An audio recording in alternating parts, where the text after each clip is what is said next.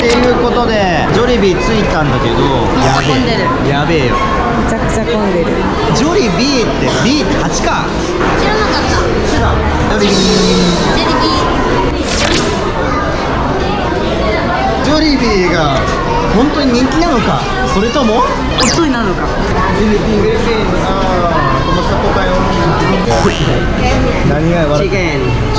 チキン全部チキンや one piece Chickenjoy ということで、はい。これは Super Meal とよくわからないチキンフライチキン。はいよくわからないチキンと Super Meal。だからあなちっちゃいよね。多分日本人からしたら多分ね結構多いはず。お弁当みたいな。あこれご飯だライスだ。ライス。ジョリービージョリービーご飯。これ出してなんか変なの入ってる。これで360円ぐらい。そうくない？フィリピンの魂。うん。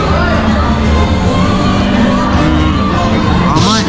甘いうまい。スパゲティはこれやってあーめっちゃ見てよ。はいじゃあしてるよなんか変なことする。目目つぶるの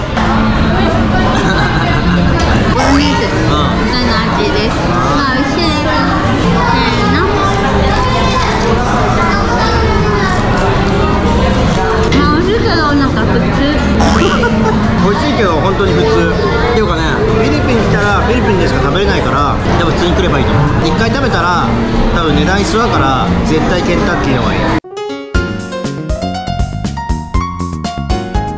あのねケンタッキーよりうまいチキンがあったら俺の前に出してくるマジで。証明してみろ普通にフィリピン来たらジョリービーっていうのがあってまあそんなに高くなくて超えるからまあいいと思う。ただ KFC には勝てない。